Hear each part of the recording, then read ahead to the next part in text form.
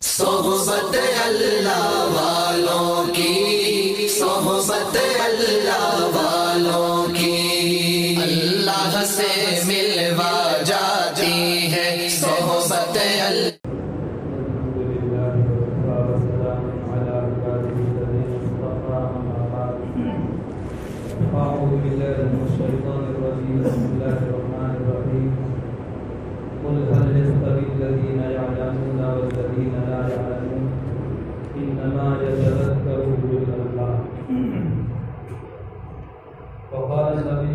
सल्लल्लाहु अलैहि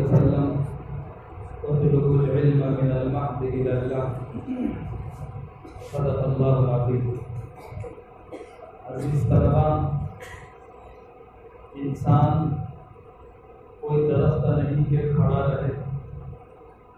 इंसान कोई पत्थर नहीं के पड़ा रहे। बल्कि इंसान को तो अशरफुल मखलूक़ात बनाया। तमाम मखलूक का सरदार बनाया है लिहाजा हम इंसानों को चाहिए कि हम अल्लाह को राज़ी करने के असबाब मुहैया करें जैसे दुनिया के अंदर देखा जाता है कि हर कोई एक दूसरे को राज़ी करने के चक्कर में। बेटा है तो बाप को राज़ी करने की फ़िक्र में है, बाप है तो बेटे को राज़ी करने की फ़िक्र में है उस्ताद है तो शागिर्द को शागिर्द है तो उस्ताद को, माँ है तो बेटे को, माँ, बेटा है तो माँ को राज़ी करने की फ़िक्र है। इसी तरह से तलबा हमें भी अल्लाह को राज़ी करने की फ़िक्र करनी चाहिए। अल्लाह रब्बुल इज़्ज़त ने जब हमें पैदा फरमाया, उसी वक्त हज़ारों नहीं, लाखों नहीं, खरबों नहीं, बल्कि मिलियन इंसानों को भी पैदा फरमाया होगा और किसी को यहूदी की माँ के घर में पैदा किया, किसी को हिंदू की माँ के घर में पैदा किया, किसी को मुशरिक मुशरिक माँ के घर में पैदा किया।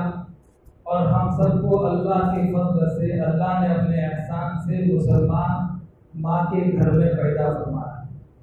पूरी ज़िंदगी ताल क़यामत, सजदे में सब रख दे और हम शुक्र अदा करें ये शुक्र अदा हो सकता नहीं। बेशुमार इनाम से हमें नवाजा है। वही निअमतल्लाहि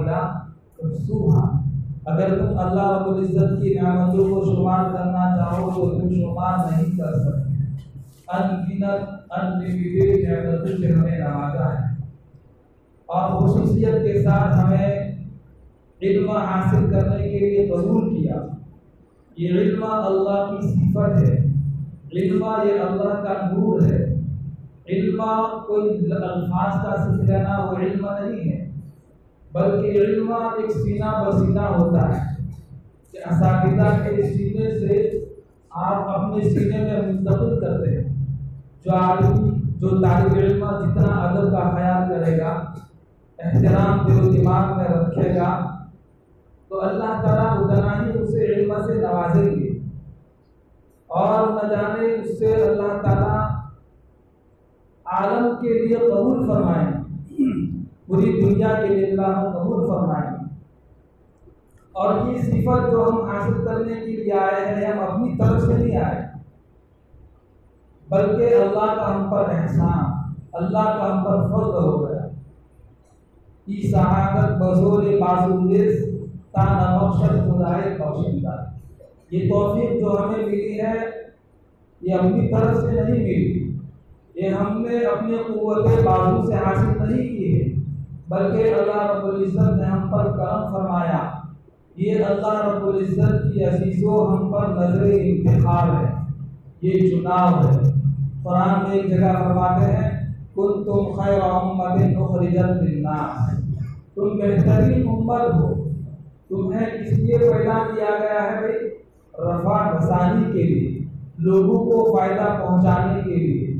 और हम उसी वक्त लोगों को फ़ायदा पहुँचा सकते हैं जबकि हमारे पास इल्म दीन हो इल्म नाफे हो। और इल्म की माया इल्म की हकीकत हमारे पास हो, तभी जाकर के हम हर एक के हक में फ़ायदा मंद हो सकते हैं। अगर हमारे पास इल्म नहीं होगा तो ज़ाहिर बात है मालिक कायनात को पहचानना भी मुश्किल है। अल्लाह को पहचानने के लिए इल्म की ज़रूरत पड़ेगी। बगैर इल्म के आदमी खुदा को पहचान सकता नहीं। देखिए, जब आदमी मर जाता है तो सारे अमल मुनकते हो जाते हैं, बंद हो जाते हैं, सिवाय तीन अमाल के। पहला अमल हमने अल्लाह के नाम पर सदका किया तो ये सदका मौत के बाद भी हमारे काम आएगा। दूसरा है इल्म नाफे। हुआ ऐसा इल्म कि जिस इल्म से नफा उठाया जाए। और तीसरा है सालिहुन यदरू यदरू ऐसा नेक लड़का जो अपने माँ बाप के हक में दुआए इस्तिगफार करता रहता।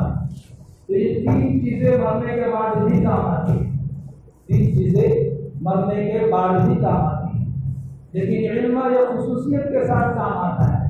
हम मदरसे की चार दीवारी में आ गए और पढ़ने बैठ गए। हमने अपना वक्त पूरा कर लिया। ये कोई ऐसा वैसा काम नहीं है।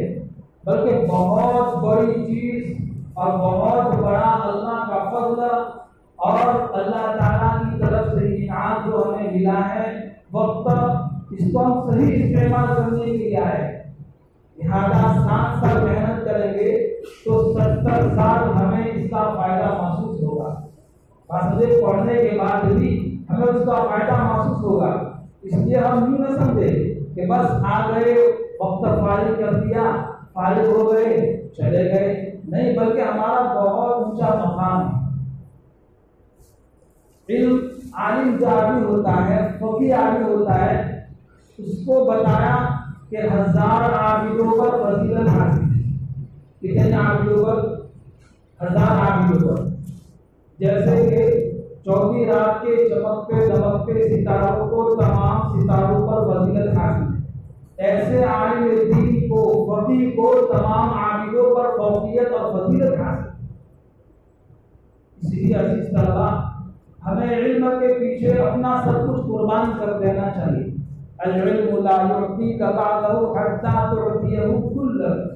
जब तक सब कुछ हम अपने इल्म को नहीं देंगे, तब तक इल्म हमें थोड़ा हिस्सा भी नहीं देगा। अन यसआ लिमा फीहि नफ्सुहु व लैसा अलैहि अन युसाइद मुद्दह इंसान के लिए ज़रूरी है कि भाई अपने नफे वाली चीज़ों के पीछे कोशा रहे, मुसलसल कबूलो करता रहे।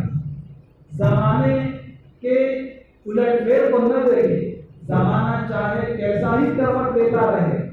मदरसे की चार दीवारी के बाहर कैसे भी हालात हो, हमें उससे कोई परवाह नहीं। हमारा काम सिर्फ़ क्या है? इल्म दीन को हासिल करना।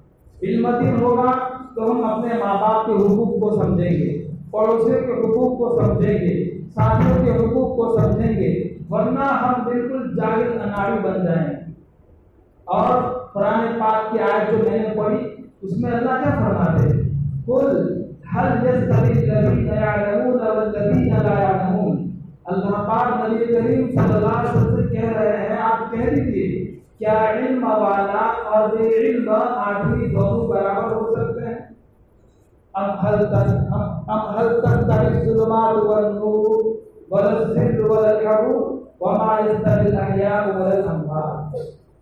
ज़िंदा और बराबर नहीं हो सकते।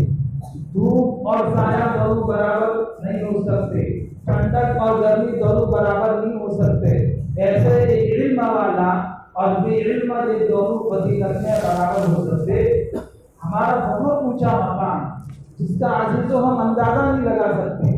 लेकिन ज़रूरी है कि इस बहुत बड़ी फजीलत को हासिल करने के लिए हमें बहुत ऊँचे आदाब से क्या होना पड़ेगा?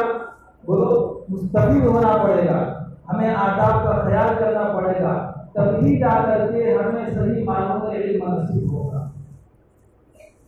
दूसरी बात यह है कि देखिए कुरान करीम की मजलिस जो मुनाफिर हुई थी वो खसूसन हज़रत मौलाना अब्दुल्ला साहब काबूदरी मरकदहू के। कि ये गुजरात के बड़े ज़बरदस्त आलिम थी मुफक्किर मिल्लत, महबूबुल उलमा मसुलाहा रईसुल जामिया, फलाह दारिन तरके सब, बहुत ऊँची शख्सियत थी गुजरात की। इनके जाने से गुजरात के उलमा फलमा के अंदर एक ज़बरदस्त खरीद पैदा पैदा हो गई और एक इंतशार बर्पा हो गया। और बेशुमार इन्होंने किताबें छोड़ी है। बेशुमार इन्होंने अपने तलबा और तलामिजा को छोड़ा है। और बिरून और अंदरून इन्होंने अस्पार किए हैं और बड़े बड़े जामिया की रहनुमाई और सरपरस्ती की थी। और अल्लाह ताला ने बेशुमार अनवरात से शुजात से इन्हें नवाजा था बेशुमार चीज़ों से इन्हें नवाजा था देखिए, अल्लाह ने जो इनको मकाम दिया, वो मकाम इस बात की बिना पर दिया दीन की वजह से। अगर इनके पास इल्म न होता तो इनको कोई जानता। और तमाम दुनिया भर के मदारिस में इनके नाम का इशारे सवाल किया गया होता ये इल्म दीन की मेहनत की बरकत से अल्लाह ने इनको ये मकाम दिया। तो ये मकाम जो हमें मिलेगा, वो इल्म दीन की वजह से मिलेगा। आज के असामिर कल को अकाबिर बनने वाले आप छोटे हैं। आप असातिजा के सामने जामिर तलमुस तय करते हैं। असातिजा के पैरों में बैठते हैं। एक वक्त आएगा कि आपके सामने भी तलामिजा बैठेंगे आप आज अगर असातिजा की कदर करेंगे तो कल वो तलबा मिलेंगे जो तुम्हारी कदर